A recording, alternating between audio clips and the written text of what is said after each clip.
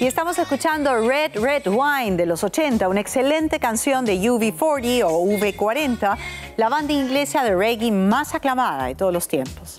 Ellos se presentarán este 6 de noviembre en el Estadio Monumental con su vocalista original Ali Campbell. Vamos a conocer su historia y sus canciones más importantes en esa brillante trayectoria de 35 años.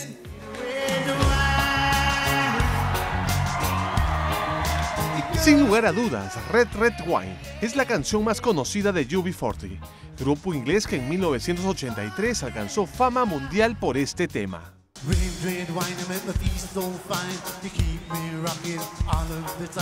Hoy UB40, la banda más exitosa de reggae de todos los tiempos, retorna al Perú con sus integrantes originales para un megaconcierto en la esplanada del Estadio Monumental el próximo 6 de noviembre.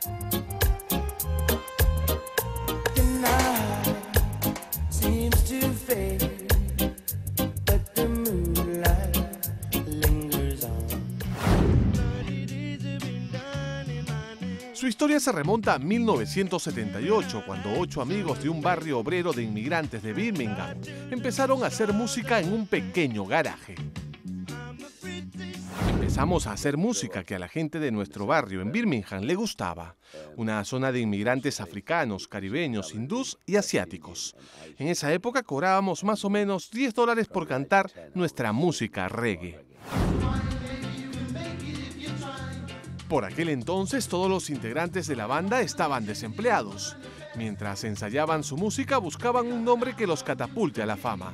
Fue así que los hermanos Ali y Robin Campbell se les ocurrió usar las siglas UB40, que en español significa Formulario de Beneficios de Desempleo 40.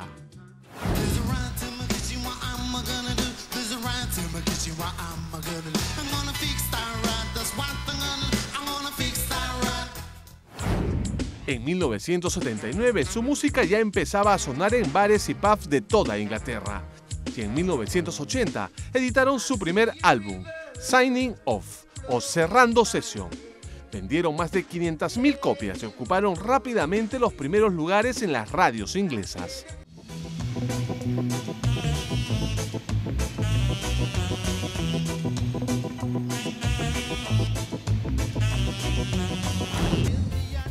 Ese mismo año, 1980, y ya cansados del manejo comercial que les daban las compañías discográficas, decidieron crear su propia empresa denominada Dep International.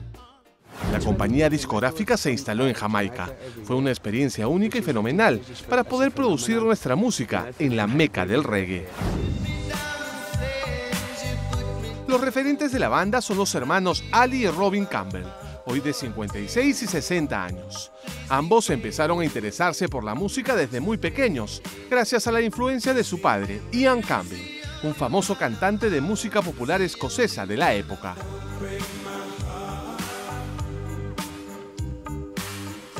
A mediados de los 70, los hermanos ingresaron a la escuela secundaria de arte Mosley Road, donde perfeccionaron su estilo. Música es la más sexy del mundo. Comenzamos a interesarnos más en la escuela. Esa fue una época maravillosa, muy maravillosa. Allí todo era música. Por aquella época habían problemas económicos en la familia Campbell y sus padres no podían solventar la adquisición de los instrumentos musicales. Fue entonces que los hermanos juntaron el dinero de sus propinas para apostarlo en una pelea callejera. Ali tenía 17 años y se enfrentó contra un joven mucho mayor que él. Ganó 4.000 libras que le sirvieron para comprar sus primeros instrumentos musicales. En 1983 la banda lanzó el tema Red Red Wine, una canción que los catapultó a la fama.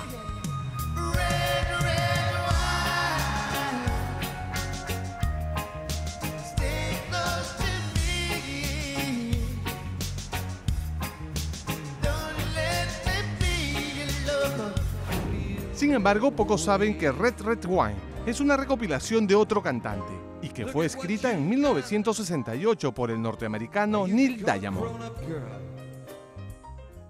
Una canción que es una alabanza al vino y su capacidad generosa de hacer olvidar las penas de amor. Hemos grabado 24 álbumes y tres de ellos hablan del amor. Y esto les gustó mucho a nuestros seguidores.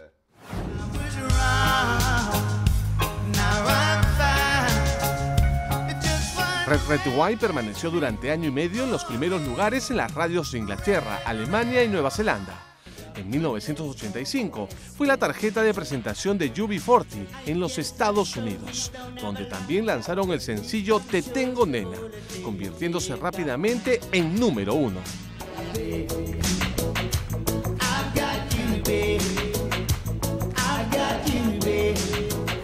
En sus 37 años de existencia, la banda británica ha vendido más de 80 millones de discos.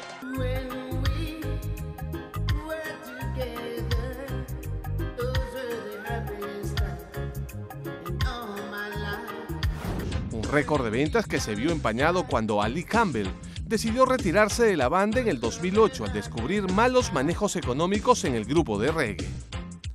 Durante casi tres años, Ali Campbell se convirtió en solista sin embargo, el 2011 retornó a cantar con el grupo luego que la justicia británica declarara en bancarrota a UB40.